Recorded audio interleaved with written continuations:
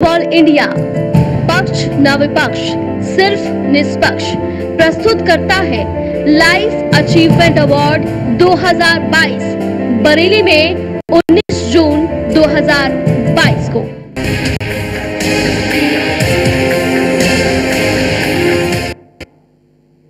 नमस्कार, बहुत स्वागत है आपका न्यूज़ वर्ल्ड इंडिया देख रहे हैं आप, आपके साथ मैं हूँ अमल। चलिए बुलेटिन की शुरुआत करते हैं। अमेठी से खबर है जहाँ पर कांग्रेस नेता इमरान प्रतापगढ़ी के बयान पर बीजेपी नेता ने पलटवार किया है। बता दें कि अग्निपथ योजना को लेकर कांग्रेस नेता ने कहा था कि जब तक सरकार यह स्कीम वापस नहीं लेती, तब तक कांग्रेस का सत्याग्रह जारी रहेगा। इसी पर बीजेपी नेता ने कहा है कि जिस कांग्रेस शासन में देश की सीमाएँ सुरक्षित नहीं है, नहीं थी, वो इस बात को ना ही करे तो बेहतर होगा।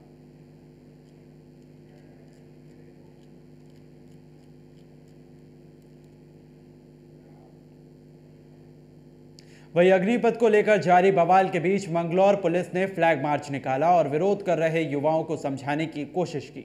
इस मौके पर भारी पुलिस बल तैनात रहा। मंगलौर, नारसन और लंडोरा कस्बे में सुरक्षा के लिए फोर्स को तैनात किया गया। साथ ही शैक्षणिक संस्थानों और कोचिंग सेंटरों में भी भारी पुलिस बल की तैनाती देखी गई।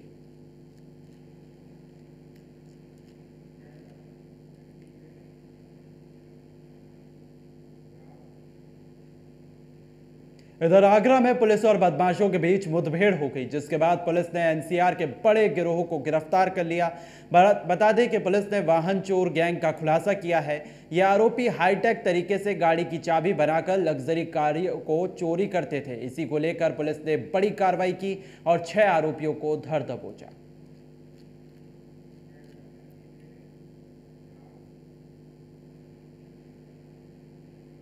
कन्नौज में बंदियों के बेहतर स्वास्थ्य को लेकर स्वास्थ्य शिविर का आयोजन किया गया। इस दौरान शिविर में बंदियों को योग का प्रशिक्षण दिया गया।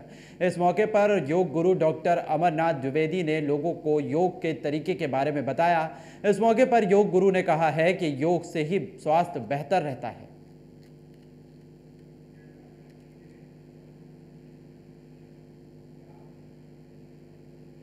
आपको बता दें, आगरा से आपको खबर बता रहे हैं, जहाँ पर रोडवेज़ बस की ऑटो से भिड़ंत हो गई। है जिसके बाद ऑटो में सवार यात्री बुरी तरह से जख्मी हो गए।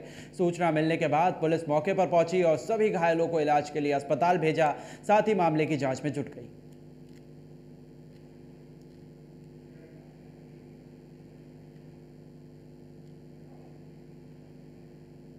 अमेठी में पुलिस ने एक व्यक्ति की हत्या का खुलासा किया है। बता दें कि 4 जून को लखनऊ जाते समय मृतक की हत्या का मामला सामने आया था। अब इसी को लेकर पुलिस का कहना है कि मृतक की पत्नी ने प्रेम प्रसंग के चलते प्रेमी के साथ मिलकर इस वारदात को अंजाम दिया था। पुलिस ने 19 जून को मृतक का शव बरामद किया था। वहीं फ़िलहाल पुलिस पूरे मामले की जाँच में जुट गई है।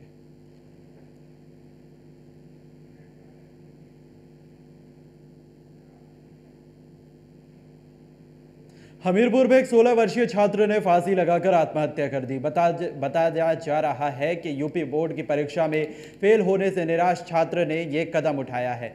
सूचना मिलने के बाद परिजनों में कोहराम मचा हुआ है। तो वहीं पुलिस ने मौके पर पहुंचकर शव को कब्जे में लेकर पोस्टमार्टम के लिए भेज दिया है। फ़िलहाल पुलिस मामले की जाँच में छुट गई है।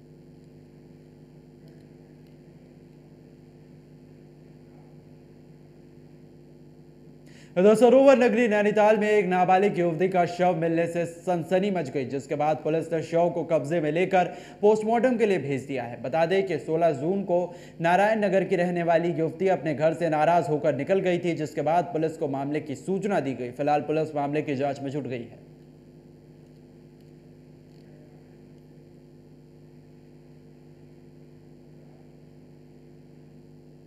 और अब खबर प्रतापगढ़ से है, जहाँ संदिग्ध हालतों में खेत में युवक का शव मिलने से हड़कंप मच गया। मौके पर पहुँचे ग्रामीणों ने पुलिस को मामले की सूचना दी, जिसके बाद पुलिस ने शव को कब्जे में लेकर पोस्टमार्टम के लिए भेज दिया और मामले की जाँच में जुट गई। वहीं परिजनों ने इसके कोहराम जिस तरह से उनमें मच गया, आपको बता दें, परिजनों ने कहा है कि पिछले दो दिन से युवक गायब था, जिसको लेकर शिकायत भी की गई थी।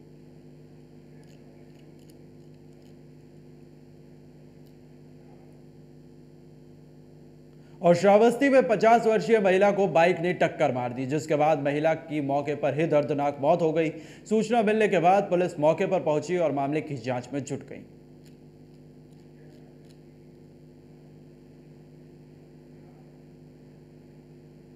श्रावस्ती में एक गरीब परिवार के घर प्रशासन का बुलडोजर चला। आरोप है कि प्रशासन ने इसको लेकर पहले से कोई भी नोटिस चस्पा नहीं किया था, जिसके बाद पीड़ित परिवार लगातार न्याय की गुहार लगा रहा है। तस्वीरें आप देख सकते हैं कि किस तरह से प्रशासन का यहाँ पर बुलडोजर कर्जा है और किस तरह से यहाँ पर बुलडोजर की कार्रवाई को अंजाम दिया गया है। तस्वीरें आपके सामने हैं, जहाँ पर भारी प्रशासनिक अमला भी इस दौरान मौजूद रहा।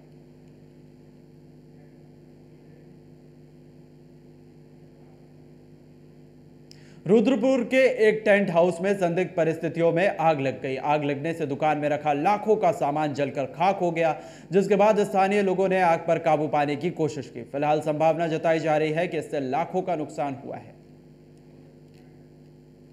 पूरा मामला ये है, ये सुबह करीब छः बजे इनके इसमें दुकान में पूरी आग लग गई है। साढ़े छः बजे के टाइम लगभग। और ये बेचारे एक बड़े गरीब परिवार से हैं, इन्होंने अपनी बीवी की ज्वेलरी वगैरह बेच के ये टेंट बनाया था नया टेंट बनाया है। अभी ये यूज़ भी नहीं हुआ है बिल्कुल सारा के सारा टेंट नया है।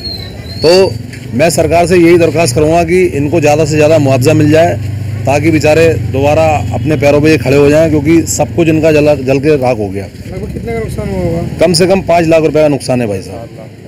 पाँच लाख ही होगा ये।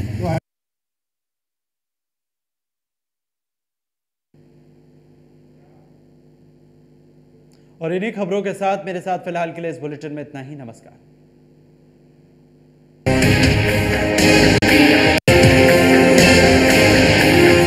News wall India.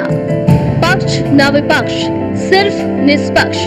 प्रस्तुत करता है लाइफ अचीवमेंट अवार्ड 2022 बरेली में 19 जून 2022 को।